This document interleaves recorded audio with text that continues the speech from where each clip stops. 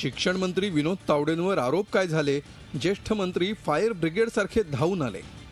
शाळांसाठी अग्निशमन यंत्रांच्या खरेदीत एकशे एक्क्याण्णव कोटींचा कथित घोटाळा झाल्याचा गौप्यस्फोट मंगळवारी एका इंग्रजी दैनिकानं केला. त्यामुळे अडचणीत सापडलेल्या विनोद तावडेंच्या बचावासाठी अर्थमंत्री सुधीर मुनगंटीवार आणि सहकार मंत्री चंद्रकांत पाटील एकत्र आले. आमच्याकडे अठरा कोटीच आहेत आता. त्यामुळे या विषयात जर अधिक पैसा लागत असेल तर वित्त विभाग देणार का आम्ही फाईल वित्तकडे पाठवली.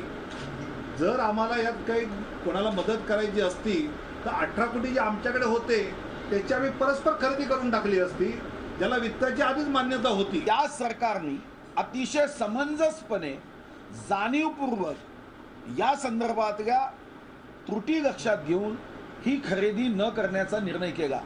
एका मिनिटात शिक्षण मंत्री महोदयांनी ही फाईल ताबडतोब विभागाकडे परत आल्यावर पुन्हा ती नस्तीबद्ध केली. हे एकशे एक्क्याण्णव कोटी देऊ शकत नाही असं फायनान्स डिपार्टमेंटने कळवल्यानंतर ती फाईल थांबली.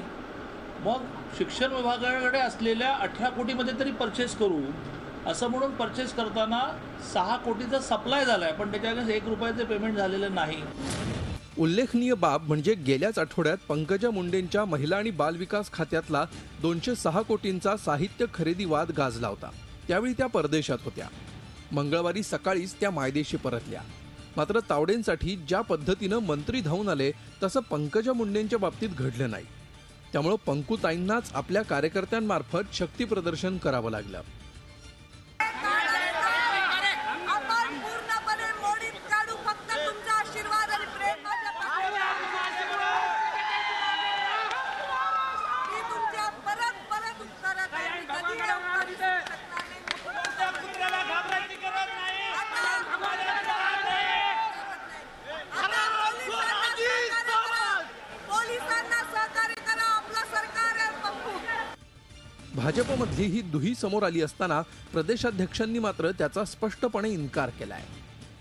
सरकार एकत्रितपणानं काम करतं सामूहिक रीतीनं काम करतं आहे पक्षात आणि मंत्र्यात कुठल्याही प्रकारची दुही नाही आहे पंकजा पालवे या बाहेर देशात होत्या त्यांच्यावर एकट्यावरच आरोप झालेले होते. त्याही वेळेस मी स्वतः मुख्यमंत्र्यांनी हे आरोप स्पष्टपणानं फेटाळून लावलेले आहेत. मुख्यमंत्री देवेंद्र फडणवीस सध्या अमेरिका दौऱ्यावर आहे त्यांच्या मागे भाजपच्या मंत्र्यांमध्येच गट तट निर्माण झालेत की काय अशी शंका घेतली जाते भाजपमधली ही आग कोण आणि कशी विझवणार याकडे आता सर्वांचं लक्ष लागलंय. Devendra कोल्हटकरसह Amit Joshi Zee media Mumbai. Zee चोवीस तास. रहा एक पाऊल पुढे.